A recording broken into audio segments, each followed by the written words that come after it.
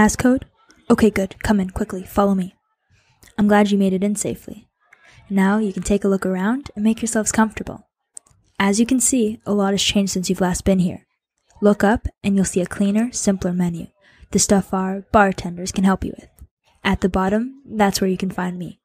A weekly podcast featuring the latest interviews, chats, and reviews we're working on. And if you haven't already, subscribe and rate us on Apple, Spotify, and YouTube. Now that you're getting acquainted, scroll down the page a bit. You'll see our editorial picks for the best stories we've heard around the joint. Below that, you'll find a breakdown of recent articles we've already spotlighted. Be sure to keep an eye out for a couple of surprises down this way. The best secrets are hardest to find, so I ain't telling you nothing.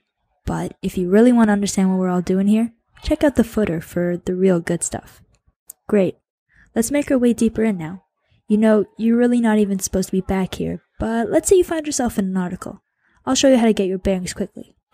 At the top of every post, you'll find all the ways you can share a story across social media. And if you're feeling extra generous, on the right side is our Patreon, which we use to keep the project running smoothly. Getting around is quite simple once you get the hang of it. You can find the author's bio on your left side always. Underneath each contributor's profile, you'll find their social media. If you love or hate their message, we encourage you to let them know. When you finish the story, you'll find some other picks our staff think you might be interested in. And if that doesn't work, try out some of the tags we've included to find some similar stories. Good. That's really it.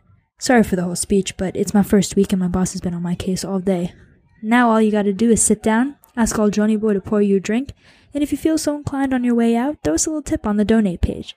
You can either help us out, give back to some good causes, or spare us a bit of change. Thanks again. Speak easy, speak free.